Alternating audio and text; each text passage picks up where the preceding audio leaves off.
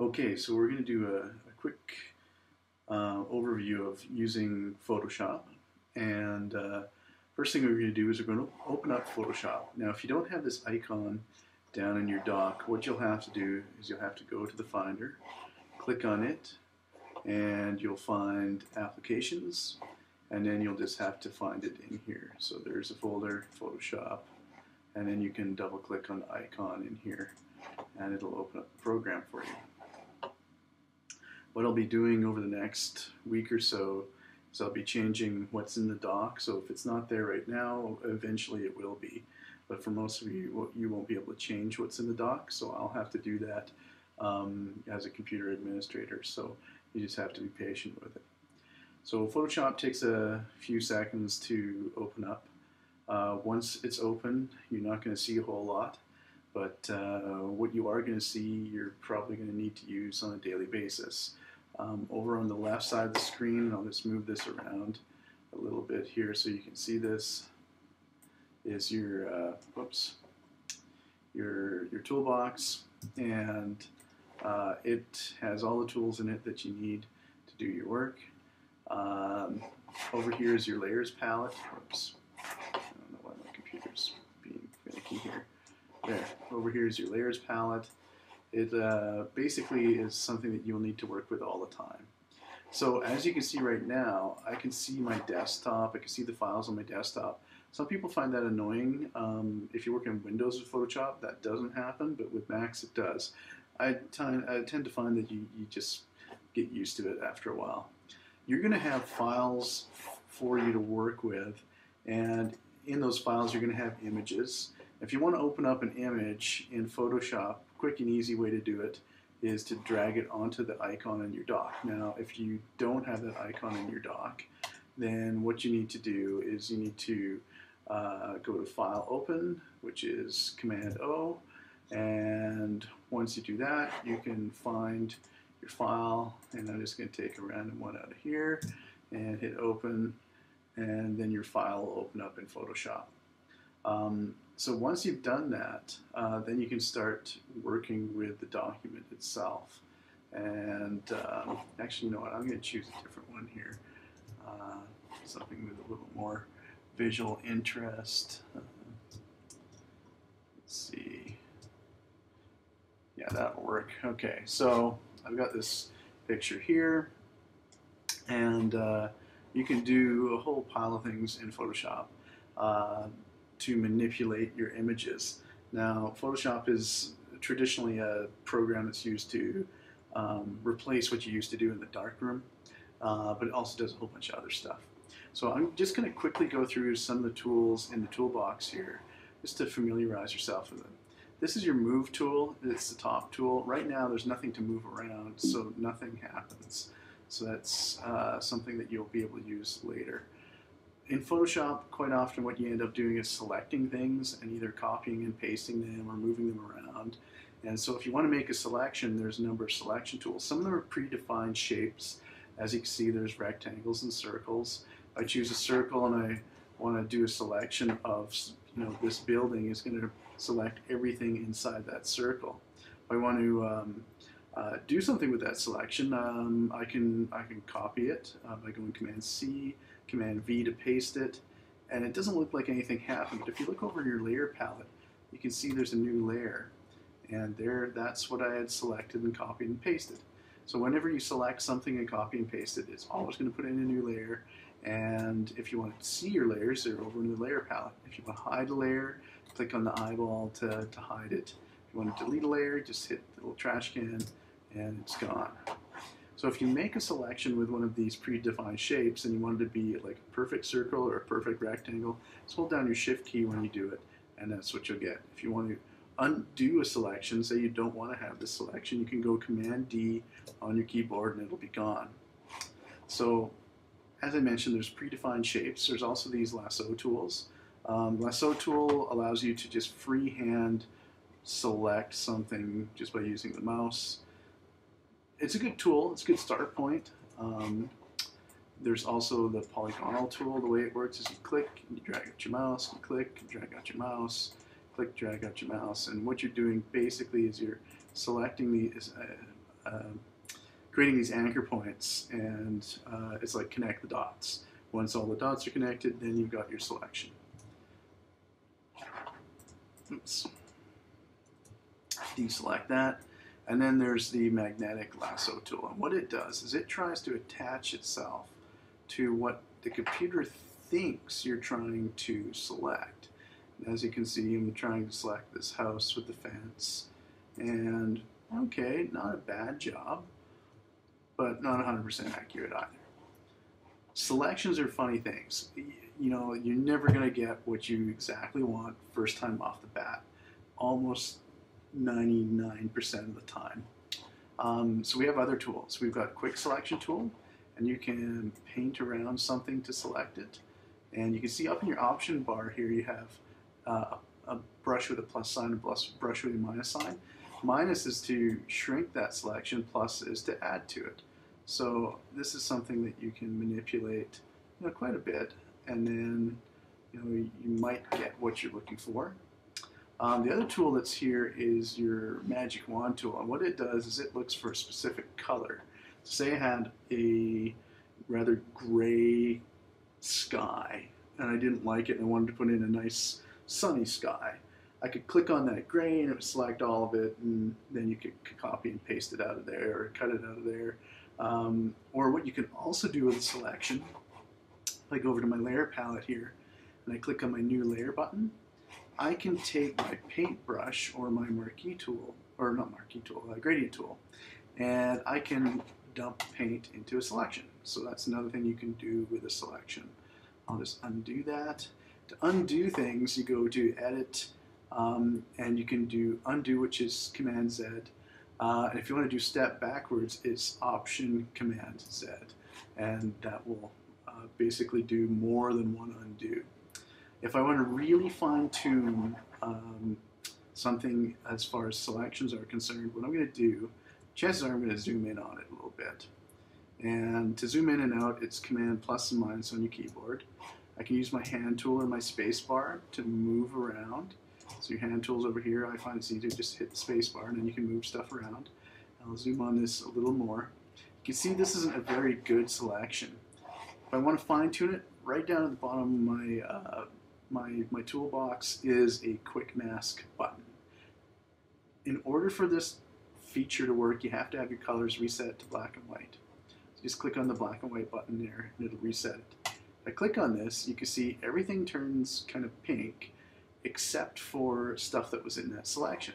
So now I can use my paintbrush tool and I can paint in what I don't want and I can erase out what I do want. And so it's a very handy tool. I'm just going to quickly do this. Um, it's not going to be a very good selection, but um, it's going to be better than what it was. And so as you can see, as I'm painting this in, I was changing the size of my brush as I painted. And uh, to do that, uh, all you have to do is use your bracket keys on your keyboard and they can increase or decrease the size of your brush. And you see the edges of the, the roof here and part of the fence isn't selected. So I just take my eraser tool, we'll shrink it down, we'll erase a little bit over here. And you can see it's not erasing very well, and that's because up here my option bar says opacity 20. That means it's not erasing the full transparency of that. So what opacity is just another word for how transparent things are. So if it's at 100%, it's 100% um, transparent. Uh, or sorry, solid. And uh, if it's at like 10%, it's you know 90% transparent. Um, so once you made your selection, just click on the uh, Quick Mask tool, and there you got your selection. And you can copy and paste it if you want. Whoops. Right now it's saying nothing is selected. And I'll show you that again. I go Command C, and it says nothing is selected. People often do this because they're not paying attention to their layers. You have to select what you want from the layer you're working with. If you hit V on your keyboard, that's your move tool. Now you can move that around and hey, voila, I've got two homesteads now. So, uh, or what I could do is I could resize this one. So to do that, I go Command T on my keyboard, and you can see I get this uh, box around my image and I can increase the size that image and there it is. Doesn't look very realistic, but you get the idea. When, when you're changing the size of stuff as well, if you want it to be proportional when you do it, hold down your shift key when you're shrinking or blowing things up. Um, and so that's something uh, that you can manipulate. Now there's all sorts of other ways to manipulate an object that you've selected. If you go to edit and you go to transform, you got a whole bunch of things here. Uh, scale, rotate, uh, warp is kind of neat because you can you can really warp things.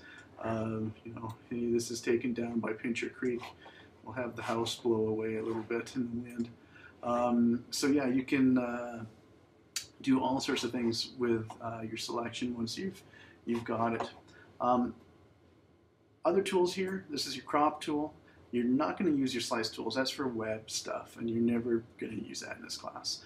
Uh, crop tool, well, it'll crop an image. So you make a selection, and you hit enter on your keyboard, or you check your little check mark up here to say, yes, this is what I want to do, or cancel, no, I don't want to do that.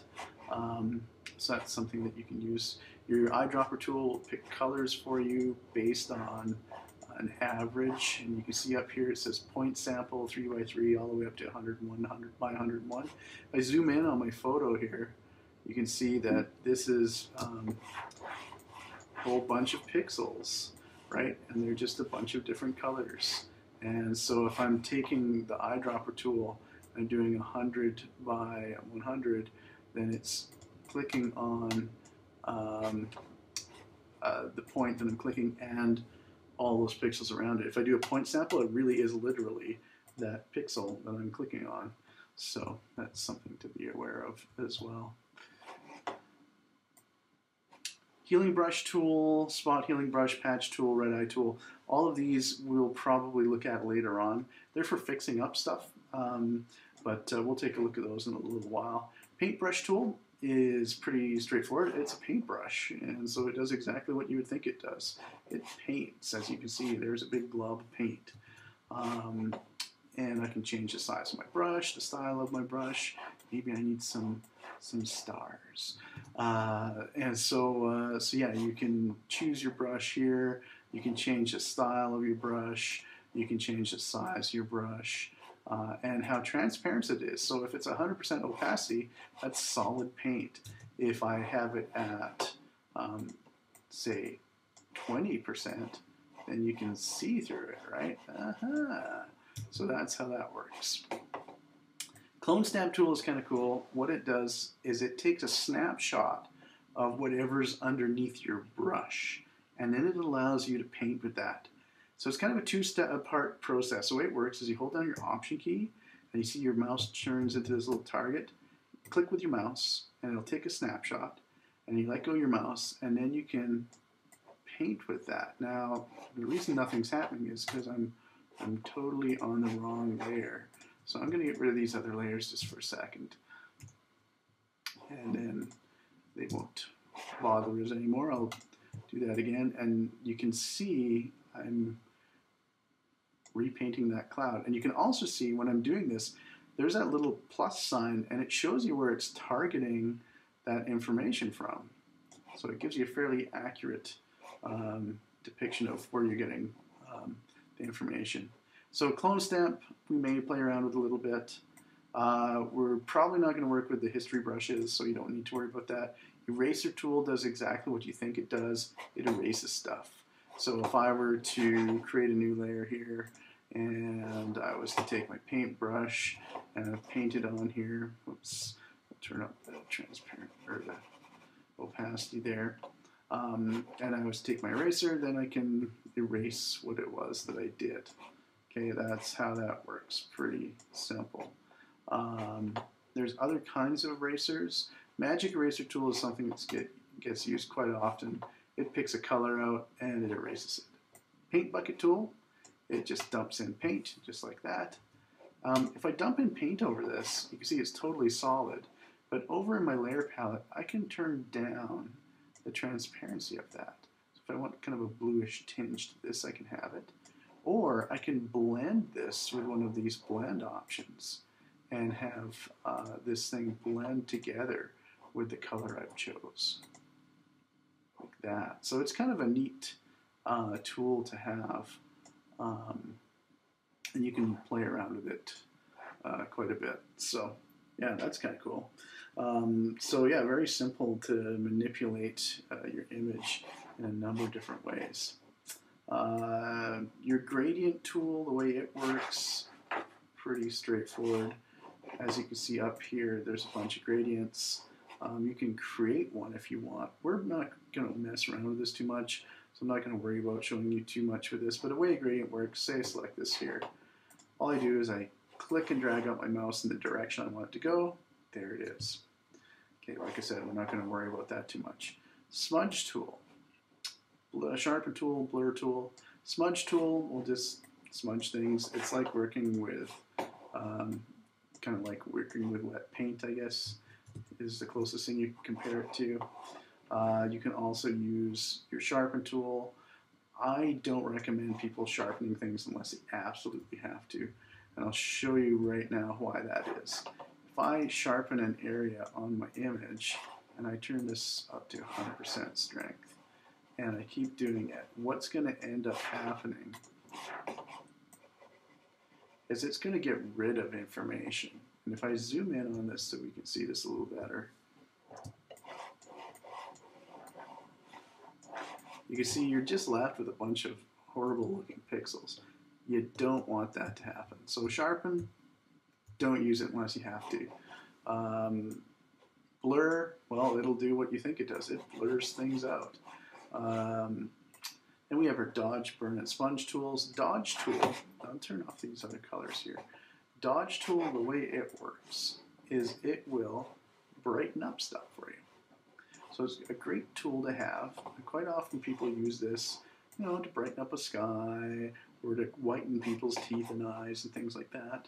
Burn tool does the opposite. It makes things real dark. Okay. Your sponge tool, it has two options: desaturate and saturate.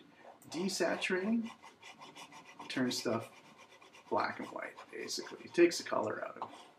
Saturate, which is the other option, makes the color really come out. So it really exaggerates what's there. So um, it's kind of a, a cool tool to, to play around with a bit. Um, your pen tool, we're not going to worry about because we won't be using it. Text tool, we will be. And the way it works is just click on your text. You can you have two options. You can click and drag out a text box if you want. I don't like to do that myself. Um, I just click on wherever I want to type. I type some stuff, and then if I want to change it, I can. I can change the color.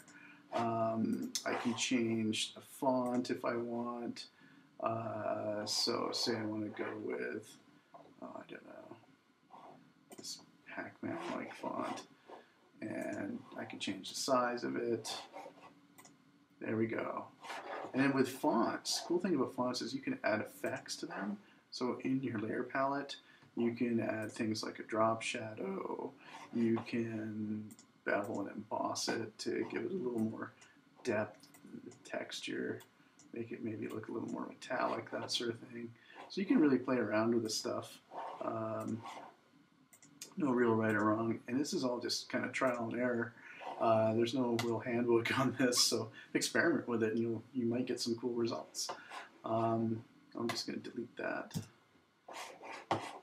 Okay, so you got your selection tools. You don't have to worry about that. Shape tools you might use, and basically do what you think they would do. You draw a shape with them. See what I mean? Um, there is a custom shape tool which allows you to select a whole bunch of different kinds of shapes. If you don't have all these in your selection, click on that little button there that looks like a play button and just go to all and then just go append and it will have all the shapes there for you to use. And you could just, you know, click on a shape and draw it out. So maybe fleur-de-lis, there's a fleur-de-lis. And then you can even add an effect to that, like, you know, a drop shadow and you could add that bevel and emboss that I mentioned. Um, there we go. Cool. So uh, if you want to move something around, you just hit your move tool and you can you can move it around. Or let's see, helps if I select the right layer. There we go. Um, and that's basically it. That's basically what we're working with. Color palette here, if you click on it, you can change your colors just by sliding this stuff around selecting what you want for a color. And that is really the basics with Photoshop. No, there's actually not a lot there, but uh, that'll get you kind of up and uh, running with it. If you need to save your file, just go Command uh, S or Command Shift S for Save As. What you'll do is you'll go to your desktop, and if you want a shortcut for that, it's Command D for your desktop. Select the folder you want to save it in, and hit Save. It'll ask you, do you want to do that? Hit OK, and you're done. That's it.